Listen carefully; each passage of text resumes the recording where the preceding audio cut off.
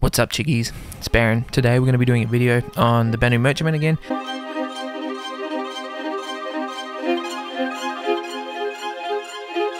I know I'm doing a lot of content on this, but I've just been covering this because everyone wants to know more or just wants more content on the Banu Merchantman before it comes out. So I don't know what it's all about, but we're just going to be talking about it a little bit today.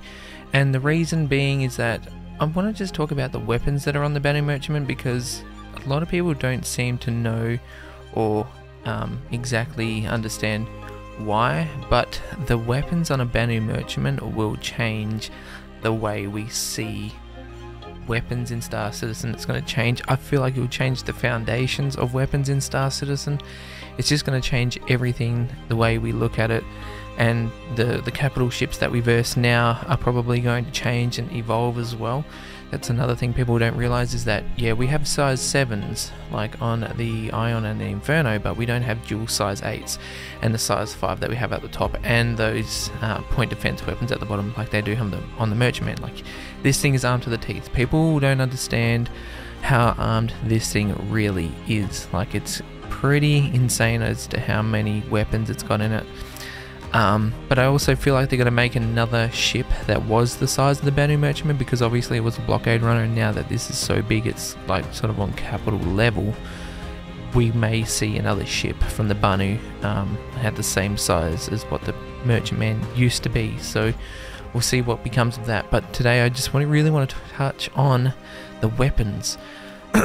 People it's you can make an assumption I can make an assumption, we can all make an assumption, but at the end of the day, we know that size 8s are going to change the game.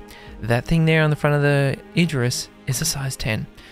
The ones on the Javelin, they're four size 9s each one. Four size 9s, just think about that for a little while. Then you got the Polaris, obviously it's just going to be an absolute weapon of a ship. It doesn't have weapons as big as the Merchantman, but it is going to be a missile silo. Like it's just gonna have so many like torpedoes. I guess you could, yeah, they're torpedoes. Then you got the Nautilus with another. Again, it's got its massive weapons at the front there. Again, it's supposed to be I think it's dual size sevens at the front. People don't realize this that that is literally two Ares sitting on the front of that ship. This is going to be incredibly well armed. I do have one in my fleet now. I have melted my Idris for now, but I, that will be coming back to the fleet uh, along with the Idris K kit. But I just want you guys to know that beyond what we have now, the weapons that we have on the 600i are some of the best, like size 5s. You don't even have to have them as size 4s. I take the size, I take the size 4s that are gimbaled off of it and put the size 5s on it. I mean, this thing is easily maneuverable. You've got the, you've also got the Redeemer. So with the Redeemer, we got a lot of weapons on that. You got ballistics, which can be turned into laser weapons. It's all dependent on how you want to look at things and how you want to do it. Um, it just the ships that you want to use, it's very open right now. And really, what I want to say is with the Merchantman coming out, once those size 8s come in and we start doing uh, Idris missions and we start doing things like Xenothreat, then the data will really come out about how powerful those weapons are going to be. Obviously, they will be tachyon cannons, I would presume. People are saying, oh, the tachyon cannons aren't in the game anymore well, they're there. They're just not as powerful as what they are supposed to be because people whinged a lot about it and they nerfed them. Obviously, that's what happens. They nerf them. So before you go making an assumption or anything, go read the lore. Things are supposed to really stick by the lore.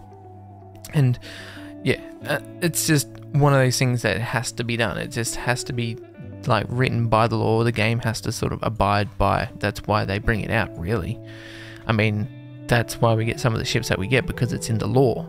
So Seeing that the size of the Merchantman isn't far from the Idris P because the Idris P is like a meter longer than it, they only put it 242 there because obviously they're still counting the length of the railgun there. That's what a lot of people don't realize. But again, the Merchantman, once it comes out, the data will really come out and stick around and it's just gonna it'll probably change CIG's mind a little bit because as we do know the Idris that we are versing now is a little bit nerfed down. Obviously a lot of the ships that we are versing that are capital are nerfed down because of the fact that they are so ridiculously powerful when they will be fully armored and fully shielded that we just won't be able to attack them and I think they're gonna actually they may actually turn the strength of the Idris up once the Merchantman is out because people will be using so many of them with those size 8s that they may even nerf the size 8s or they may increase the strength of the Idris. And that may we may see a refactor of the entire shield and armor system once the armor's out an entire weapon system. It's just, it feels like it's going to be a game changer. It's going to change the entire system. And that's why I was talking about will the Merchantman be nerfed? Because people aren't really thinking about the data behind this and what could be um, done with it more or less with the weapons and how this ship is just going to be such an absolute powerhouse with the weapons and everything that it can do. It's just like I said, it's going to change Star Citizen one way or another. It's going to change the game, the way we play, the way we combat, and everything else that is coming in. It's just going to change the whole game. And I just want to know what you guys think down in the comments because that is my opinion. That is what I think, and I feel like that is probably pretty close to the truth. It might not be, but again, it's gonna be pretty uh, full on once this comes out. I, I can see that we're going to have a lot of issues with small ships getting destroyed. But again, this is going to be sub capital or capital, and it may change the fact that the way we play the game, the way we see ships, uh, just the way we see combat. Like it might be as slow as the 890 jump, but it might not be.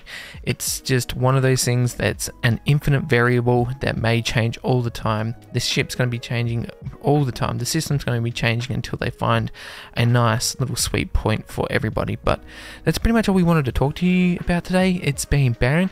I hope you enjoyed this. Let me know down in the comments. Join our Discord. Use my referral code. Everything is in the description. We'll see you in the verse.